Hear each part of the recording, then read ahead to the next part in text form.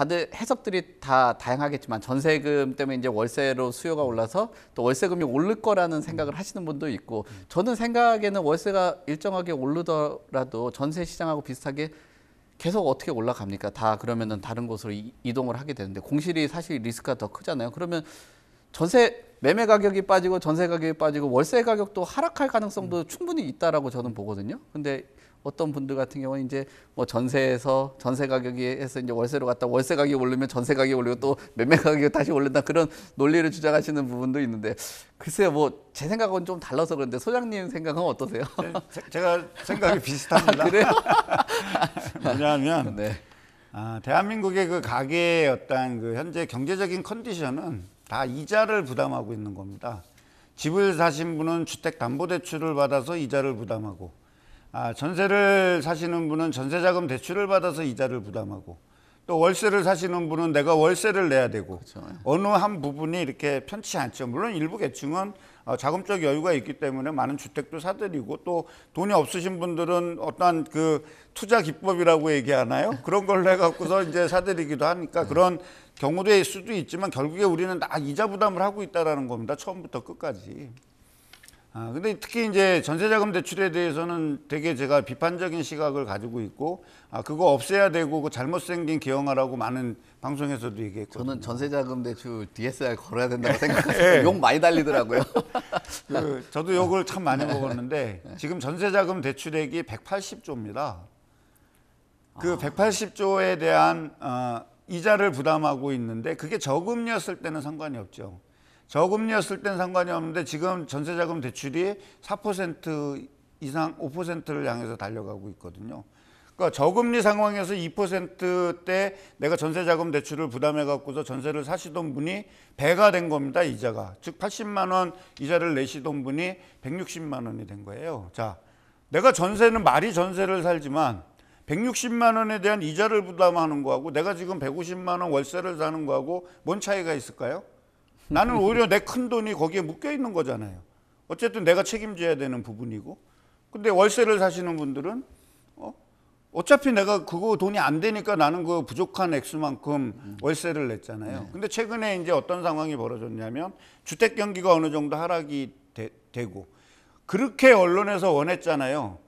전세 폭등이 돼가지고 전세 대란이 나야 되는데 전세 대란이 안 났지 않습니까? 안 나고 전세 가격이 계속 하락하다 보니 전세로 사는 세입자가 내가 왜 굳이 비싼 이자 부담을 해가면서 이자 부담을 해가면서 전세를 살지 차라리 반전세를 돌린 다음에 내가 월세를 일부 지급하는 게 내 돈을 지킬 수 있는 방법이야 이 격동기에 그렇게 해서 자발적으로 돌아가는 월세 수요가 증가하고 있는 거죠. 물론 원래 월세 사시는 분들도 있습니다. 그래서 우리가 부동산 경기에서 투자가 활성화될 때에는 전세 비- 거래 비중이 늘어나고 투자가 활성화되지 않는 부동산 침체기에는 반전세나 월세가 증가할 수밖에 없는 구조예요. 여기에 보태서 저는 제 아는 지인들한테 뭐라고 말씀드리냐면 일단 등기부등본 가져와 봐. 왜요? 저한테 왜? 이제 물어보면 아, 지인들이 네네. 등기부등본 가져와서 이제 분석하고 네. 그냥 반전세로 돌려라. 음, 그러니까 집주인이 얘기를 안 해줘도 일단 운을 던져서 반전세로 돈- 돌려주고 그래 예를 들어서 반전세로 돌려서 한 2억에서 3억의 돈이 생기잖아요. 은행에 넣어라. 음. 지금 예금금리 팍팍 올라가고 있다. 그렇다면 내가 월세로 조금 내는 돈을 해치시킬 수 있잖아요. 네. 뭘로? 저축 금리로. 그렇죠. 네. 그렇게 된다 그러면 내가 알토란처럼 저- 월세로 다 부담하는 것보다는 어느 정도 내가 보존할 수 있는 비용이 있으니까 내 소득이 증가하지 않는다 하더라도 조금 이렇게 숨통을 돌릴 수 있잖아요. 저랑 비슷한 그 네. 상담을 그러니까 해주시는 제가 아까 똑같다고 얘기했잖아요. 비슷한 상담. 심지어 그 뭐야 거주하시는 분들은 네.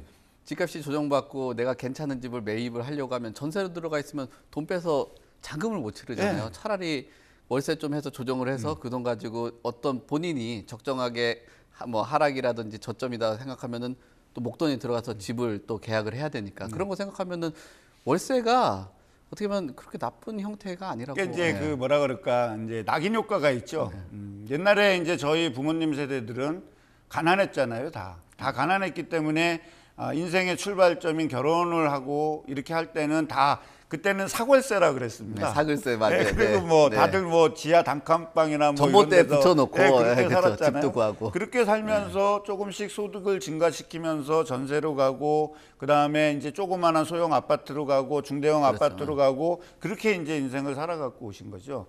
물론 이제 우리가 소득이 많이 늘어나다 보니까 어떤 주거를 바라보는 어떤 개념이 이제 많이 바뀌었잖아요. 그건 사실이죠. 예, 많이 바뀌었기 때문에 어, 나는 좋은 곳에 살고 싶은데 가장 중요한 거는 내 소득이 뒷받침이 안 되는 거예요.